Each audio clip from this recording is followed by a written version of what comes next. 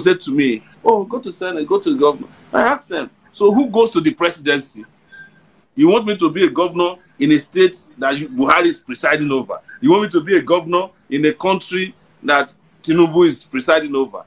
And you admit that I'm better, I'm more agile, I'm more physically fit, I am intellectually sound, but you don't like an intellectually sound president? You don't want a non-corrupt president? What's wrong with us?"